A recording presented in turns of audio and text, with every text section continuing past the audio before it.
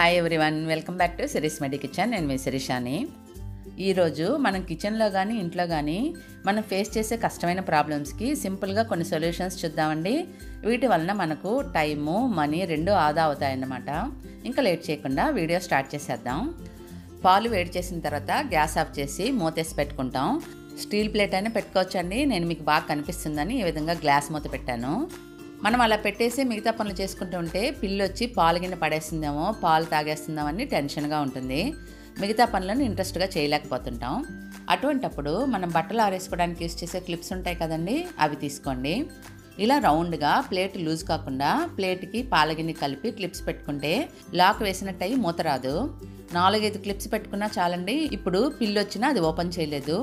పిల్లు వస్తుందేమో పాలు తాగేస్తుందేమో అని భయం లేకుండా మిగతా పనులన్నీ హాయిగా చేసేసుకోవచ్చు.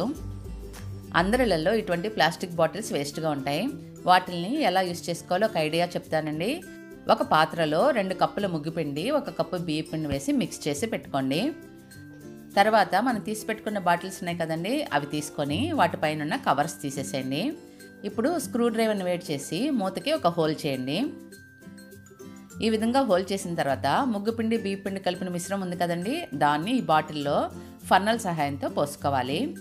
తర్వాత క్లోజ్ చేసి ముగ్గు వేసామనుకోండి ముగ్గు పిండి ఫ్రీగా చాలా ఈజీగా పడుతుందన్నమాట. ముగ్గు వేయడం రాని వాళ్ళు కూడా ఈజీగా ఈ బాటిల్తో వేసేసుకోవచ్చండి. రెండు లైన్ల ముగ్గు కావాలంటే ఇంకొక హోల్ ముందరలాగానే వేడి చేసిన స్క్రూ డ్రైవర్తో చేసుకోండి. ఇప్పుడు ముగ్గు వేస్తే అందంగా రెండు లైన్లో వస్తుందండి. వేస్ట్గా ఉన్న బాటిల్తో చాలా ఈజీగా ముగ్గులు వేసుకోవచ్చు. మీరు తప్పకుండా ట్రై చేసి చూడండి. స్టిచ్చింగ్కి యూస్ చేసే మెజరింగ్ టేప్ ఉంటుంది కదండి. అది మనం ఇలా పడేసామనుకోండి ఓపెన్ అయ్యి మెస్సీగా ఉంటుంది. బాక్స్లో పెట్టినా కానీ ఈ విధంగా ఓపెన్గా ఉంటే దారాలలో అన్నిట్లో ఇరుక్కుంటుంది కదండి. అలా ఓపెన్గా కాకుండా ఈజీగా ఎలా ఫోల్డ్ చేయాలో చూద్దాం. ఫస్ట్ వచ్చేసి లోపల సైడు ఈ విధంగా స్టీల్తో గట్టి పార్ట్ ఉంటుంది కదండి. దానికి రబ్బర్ బ్యాండ్ తీసుకొని ఈ విధంగా చుట్టుకోండి. తర్వాత ఇంకొక కొసా నుంచి కొంచెం పొడవుగా మడుచుకుంటూ రండి.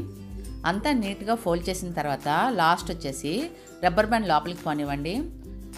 ఇప్పుడు ఓపెన్ కాకుండా టైట్గా అలానే ఉంటుందండి. బాక్సులు వేసినా కానీ ఎక్కడ పెట్టినా మెస్సీగా లేకుండా నీట్గా ఉంటుంది. మనం మామూలుగా కరెంటు పోయినప్పుడు క్యాండిల్ వెలిగించి ప్లేట్లో కానీ నేల మీద కానీ పెట్టేస్తుంటాం. ఆ మైనం అంతా కారి కింద పడిపోతూ ఉంటుంది. ప్లేట్లో పెడితే ప్లేట్లో పడుతుంది. నేల మీద పెట్టామనుకోండి నేల మీద పడి వేస్ట్ అయిపోతుంది. అలా కాకుండా ఈ విధంగా ప్రమిదిలో క్యాండిల్ని వెలిగించి పెట్టండి.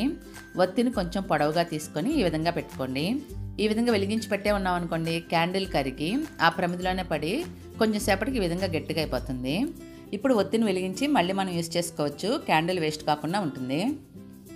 మనం ప్లాస్టిక్ కానీ స్టీల్ డబ్బాలు కానీ ఏం వాష్ చేసినా అవి అంత తొందరగా ఆరో వాటర్ కింద పడిపోవడానికి ఇలా రివర్స్లో పెట్టామనుకోండి గాలి లోపలికి పోలేదు కాబట్టి లోపల తడ ఆరకుండా అలానే ఉండి తర్వాత వాసన వస్తుంటాయి.